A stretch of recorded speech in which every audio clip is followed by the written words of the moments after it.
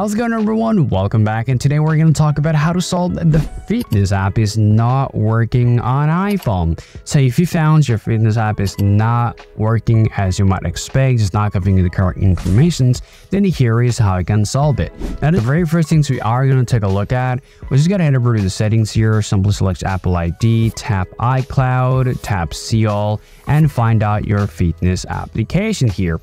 So simply turn off the fitness app for about 10 to 20 seconds second and then turn it back on again. And quickly after that, you want to go back here, scroll down to the privacy and security here, scroll down to the fitness settings, simply tap the motions and fitness here. So make sure to turn on these features from here. If it's already turned on, then turn it off, wait for some time and turn it back on. The next things we are going to take a look at, which is very important for the apps. So we got to go to the settings, go to the general here, tap on iPhone storage and find out the application. So let me find out the fitness here.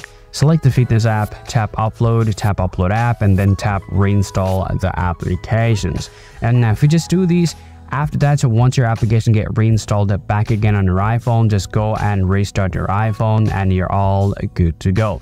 Now, if you still have a problem, do the last two work. Open up your settings, go to the general, check out your software update. If you found the nearest new software available, go and update it. If there's no software available, get out of here, scroll down, tap and reset iPhone, select reset, and simply select reset network settings. Sometimes if you have problems with the network, you might face the same problems. Just go and do it on your iPhone and after that your problem is going to be solved.